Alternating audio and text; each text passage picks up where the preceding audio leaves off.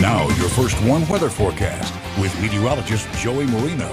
Good morning, everybody. After a break from the heavier rainfall from this morning, we're starting to see a few more scattered showers and thunderstorms pop up in our southwestern and western areas. Taking a live look at our SkyTrack camera over the Park Hills Golf Course out in Freeport, one of those spots that's seeing more rainfall as we head into the mid morning hours. Freeport already over an inch of rainfall from this morning, 2.54 inches here in Rockford. The rest of the area between three quarters of an inch and an inch of rainfall. Now we are going to add on to that as we head into the mid to late morning hours. Already starting to see more activity off to the southwest near Davenport along Interstate 88. Scattered showers and thunderstorms heading to the Rockford area. Could hear a few rumbles of thunder over the next hour to two hours. Now you can see just how expansive all this moisture is this morning as you see more activity starting to spark up in central and eastern Iowa. That's going to be making its way northeast as we go throughout the next couple of hours towards midday. So the rest of the day, expect scattered shower and thunderstorm chances, but this morning is when we're going to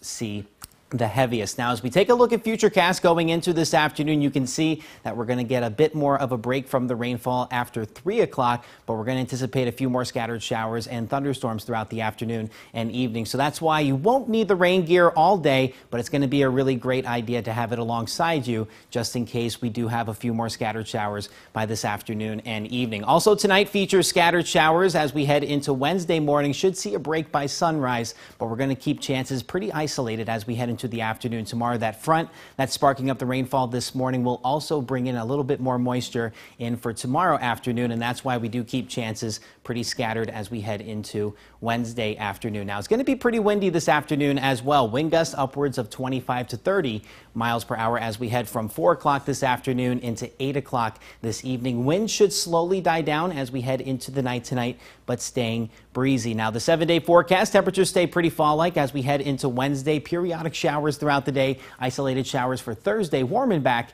into the low 70s by this upcoming weekend. Back to you. All right, thanks so much.